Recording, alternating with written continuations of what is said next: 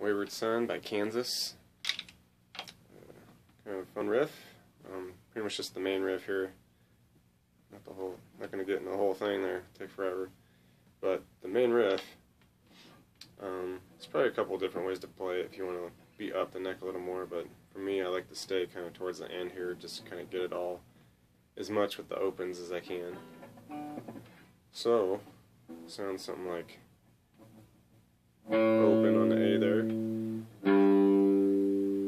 third fret there, the uh, E, open on the A,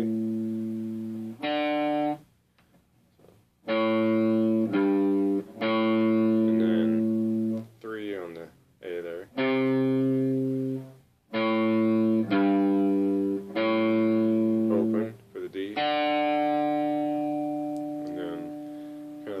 On here with the open to two on the D. Open G. And then a pull off. And the two to the open on the D.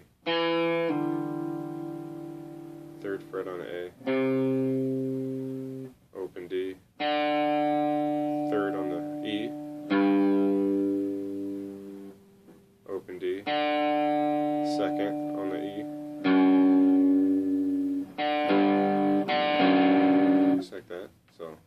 all together sound like.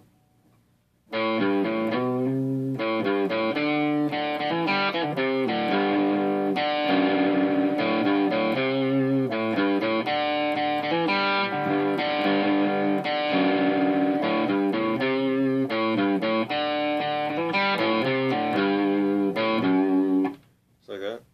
That's pretty much it for that main riff there.